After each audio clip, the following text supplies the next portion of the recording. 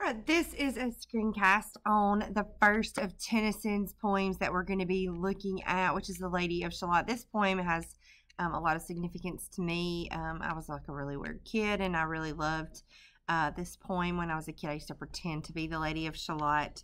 Um, and I'll tell more about that in just a little bit. But let's start with the Lady of Shalott. On either side, the river lie long fields of barley and of rye that clothe the walled and meet the sky. And through the field, uh, the road runs by to many towered Camelot. And up and down the people go, gazing where the lilies blow, round an island there below, the island of Shalott. Willows whiten, aspens quiver, little breezes dusk and shiver through the wave that runs forever by the island in the river flowing down to Camelot, four gray walls and four gray towers overlook a space of flowers and the silent island bowers, the Lady of Shalott. By the margin, willow veiled, slide the heavy barges trail by slow horses and unhailed. The shallop flitteth silken sailed, skimming down to Camelot. But who hath seen her wave her hand, or at the casement seen her stand, or is she known in all the land, the Lady of Shalott? Only reapers, reaping early in among the bearded barley, hear a song that echoes cheerily from the river, winding clearly down to towered Camelot. And by the moon, the reaper weary, piling sheaves in uplands airy, listening the hiccup, sorry, whispers, tis the fairy lady of Shalott. So the poem begins in this first part with a description of a river and a road that runs down to, to Camelot, which you know is the uh, the home of King Arthur and the Knights of the Round Table, that kind of thing. And so this there's a lot of traffic on this road, like all the time. People in town travel back and forth down this road. Um, and on this road, or off this road, just uh, slightly, uh, there is a little island. Um, and on that island is a little a little castle, little small castle, four gray walls, four gray towers, and there's flowers all around. It's a very pretty little place. There's lots of plants um, on there, lilies and aspens and willow trees and all that kind of stuff. And on that island, in that tower, there is a woman who is kind of held captive there. She's imprisoned there uh, in that four gray wall, four gray tower um, edifice. Um, and so all these people are always walking by and they've heard rumors that this woman is, is there, but they don't, have never seen her. They've never seen her uh, at the window. They've never seen her uh, wave her hand. The only way that anyone knows that she's even there is that they hear her, um, they hear her singing. Um, and so, like, and only the people that hear her singing are the people that are out uh, eh, out working consistently like around the place. The reapers who are harvesting barley that grows on the road, they can hear her singing, uh, and and they think she's a fairy, but they think she doesn't really exist, so that she's just a fairy person.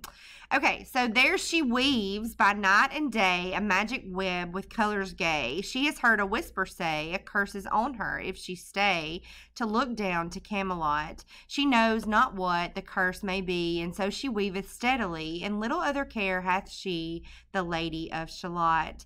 And moving through a mirror clear that hangs before her all the year, shadows of the world appear.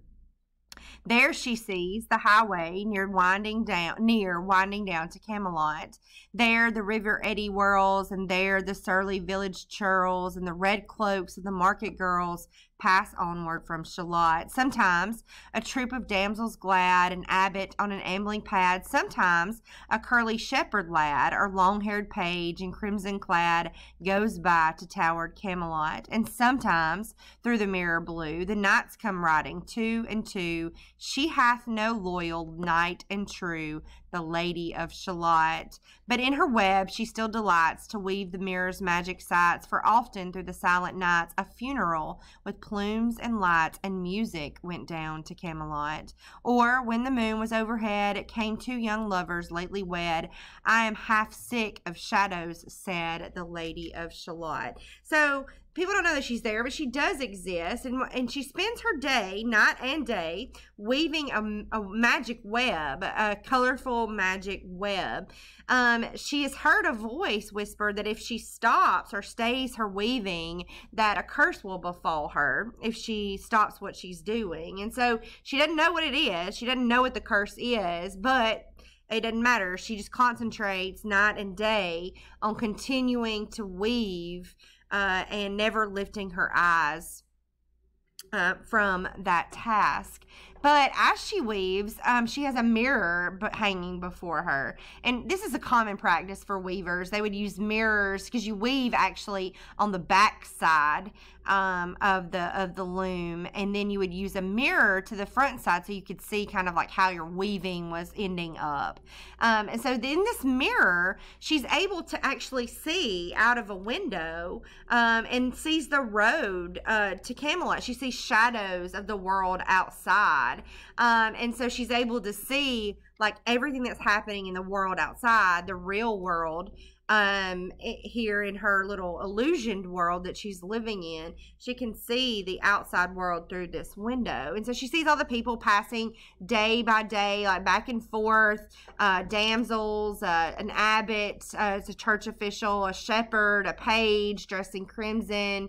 Uh, she sometimes sees these knights riding back and forth the market girls.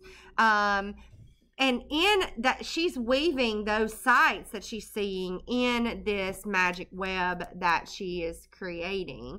Um, but she herself doesn't have someone to rescue her. She hath no loyal knight and true. Um, and she's frustrated because she's tired of living her life this way in shadows instead of living out in the real world, but she doesn't know how to bring that to an end because she can't stop the weaving.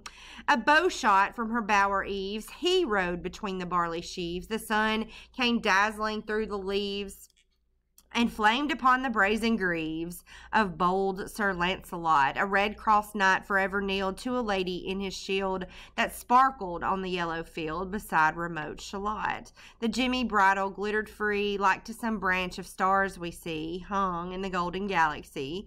The bridle bells rang merrily as he rode down to Camelot, and from his blazoned baldric slung a mighty silver bugle hung, and as he rode his armor rung beside remote Shalott. All in the blue and clouded weather, thick jeweled shone the saddle leather. The helmet and the helmet feather burned like a one burning flame together as he rode down to Camelot. As often through this purple night below the starry clusters bright, some bearded meteor trailing light moves over still Shalott. His broad, clear brow and sunlight glowed, on burnished hooves his war horse trode. From underneath his helmet flowed his coal black curls as on he rode, as he rode down to Camelot. From the bank and from the mirror, the river, he flashed into the crystal mirror. Tirra lirra by the river, sang Sir Launcelot. She left the web, she left the loom, she made three paces through the room. She saw the water lily bloom and saw the helmet and the plume. She looked down to Camelot. Out flew the web and floated wide. The mirror cracked from side to side. The curse has come upon me, cried the lady of Shalott. So one day she's she's doing her normal weaving, weaving her her web, and he rides into the mirror, Sir Lancelot, and everything about him is is not shadow right? We get like four, stanzas of a description colorful description of this man on this horse and he's so bright and shiny and everything is sparkling and gems are glittering and uh, his bugle and his bells on the bridle they're making noise and his armor is ringing out as he gallops along beside this island. And um, it is it is this sight that causes her to just completely stop what she is doing um, and stop weaving her web. And so that's kind of interesting. She's I've seen other knights go riding by all the time. It's like a common thing. But here is this Lancelot. He's our hero of King Arthur stories. He was famous for his illicit affair with the beautiful queen Guinevere. Um, here he is in all his color, dazzling, sparkling, um, gorgeous, you know, in, in sight and these these rich visual details that Tennyson is providing for us. And it's not the sight of him uh, that causes her to stop. It's his song. She hears him sing a song, uh, and she stops what she is. She stops what she is doing, and um, so and then obviously immediately this curse starts to uh this curse starts to come upon her. The web floats out of the of the window the mirror cracks from side to side and the lady of shalott is, is terrified because you know like this is it for her right? In the stormy east wind straining, the pale yellow woods were waning, the broad stream in his banks complaining, heavily the low sky raining, over towered Camelot. Down she came and found a boat beneath a willow left afloat, and round about the prow she rode the Lady of Shalott. And down the river's dim expanse, like some bold seer in a trance, seeing all his own mischance, with a glassy countenance, did she look to Camelot. And at the closing of the day, she loosed the chain, and down she lay. The broad stream bore her far away, the Lady of Shalott, lying robed in snowy white, that flew loosely flew to left and right. The leaves upon her falling light, through the noises of the night, she floated down to Camelot. And as the boat head wound along the willowy hills and fields among, they heard her singing her last song, the Lady of Shalott. Heard a carol, mournful, holy, chanted loudly, chanted lowly, till her blood was frozen slowly and her eyes were darkened wholly turned to towered Camelot. For ere she reached upon the tide the first house by the waterside, singing in her song she died, the Lady of Shalott. Under tower and balcony, by garden wall and gallery, a gleaming shape she floated by, dead pale, between the houses high, silent into Camelot.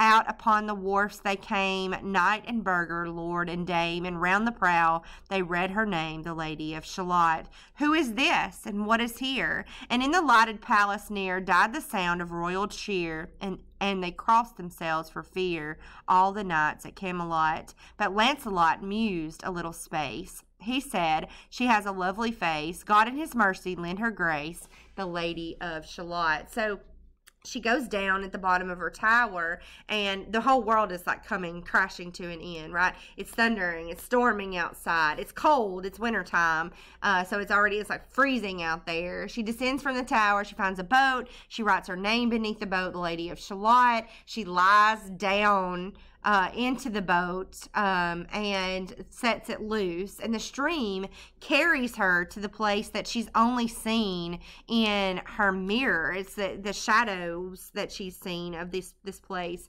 and not the, the reality of it. So she's literally wearing white she's floating down this water. It's freezing outside. She is singing her death song. Her blood is free is freezing. Her eyes are darkening, and she dies. And when her boat sails silently into Camelot, everybody comes out and is like, you know, who is this woman? And you know, this is the Lady of Shalott that we've heard about all this time. She's been captured and held up in that tower this whole time, and no one even knew she existed. And they read her name on the boat on the bow of the ship, or uh, the boat, and they cross themselves for fear. And Sir Lancelot, which is the sole reason that she you know, left this shadow world in the first place is he comes out and he's like, Oh, she's got a pretty face, you know, may she go with grace. God have mercy on her, you know, on her soul.